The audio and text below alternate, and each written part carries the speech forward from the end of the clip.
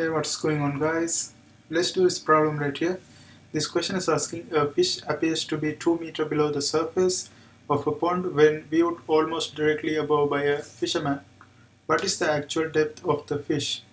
So here we can use refractive index equation that is uh, n is equal to actual depth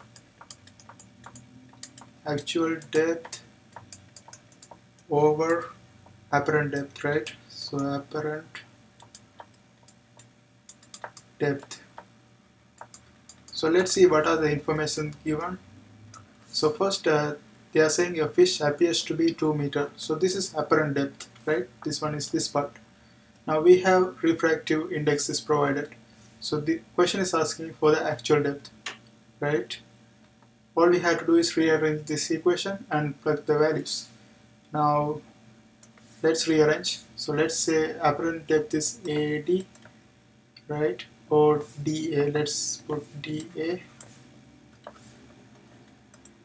D apparent right that is that time n so we are trying to calculate actual. So let's put actual right here. So D actual is equivalent to n times D apparent right? So n is 1.33 1.33 times apparent depth that is 2 meter. And if you multiply this one by 2 that's going to give you 2.66 meter. So that's going to be the answer for this question. Now let's look at the second question.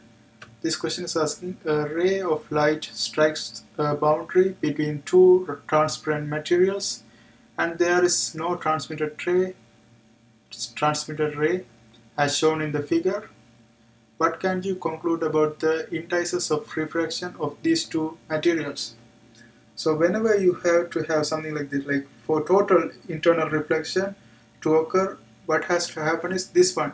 N1 has to be greater than N2. Then only this will happen, right? So from this one we can conclude that refractive index of N1 is greater than N2. So that's what we can conclude from this question and I hope you guys find this video helpful. See you next time.